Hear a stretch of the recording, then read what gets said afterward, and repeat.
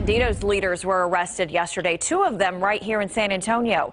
Today, we're looking closer into documents the U.S. Attorney's Office sent us regarding that case. Courtney Friedman is digging into the details and even paid a visit to one of the Bandidos members mentioned in the indictment. Two of the highest ranking Bandidos leaders nabbed here in San Antonio. The U.S. Attorney's Office says 56-year-old John Portillo is the gang's national vice president and 31-year-old Justin Forster, the national sergeant at arms. The national president, Jeffrey Pike from Conroe, is now also in federal prison.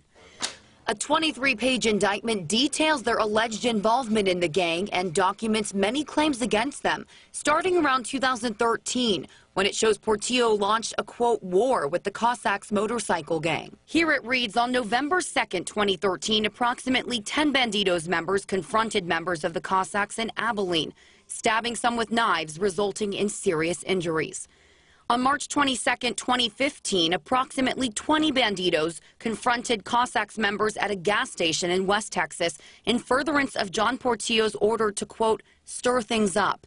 Bandidos members assaulted him, striking him in the head multiple times with a claw hammer, causing serious injury. The document lists several places where Bandidos leaders allegedly met to plan these attacks. One of those just south of San Antonio. August 24, 2015, John Portillo, Justin Forster, and other Bandidos members met at Chuy's Bar in Italia, Texas, a bar owned by the Bandidos Hill County chapter president to discuss the presence of Cossacks members in Carrizo Springs and Crystal City and how to respond. I had a conversation with the owner of the bar, and he told me he is a Bandidos member, but claims that conversation detailed in the indictment never happened. The owner says many bandidos, including Portillo and Forster, are at the bar often since it's a common hangout. But he says Chuy's is a public bar, not just a bandidos meetup spot. Courtney Friedman, KSAT 12 News.